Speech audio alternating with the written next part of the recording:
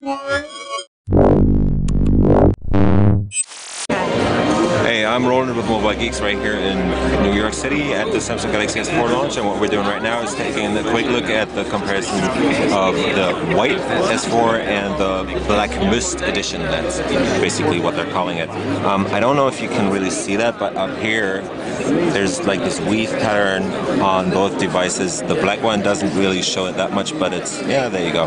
It's kind of glitzy, kind of glittery. It looks really good actually. Um, and they're realizing that or doing that by using a new um, polycarbonate process. They're working um, with a special molding technology um, to make it look this way. And I myself actually like the black one better because it looks more. Uh, oh, the translator. It kind of looks better, basically. Um, on the back, on the black one you can actually see that it's got this hue to it that is kind of reflecting. The white one is actually swallowing the light pretty much. Um, they're both pretty good. What's what I'm wondering right now is why the flesh on the white one actually seems to be further in.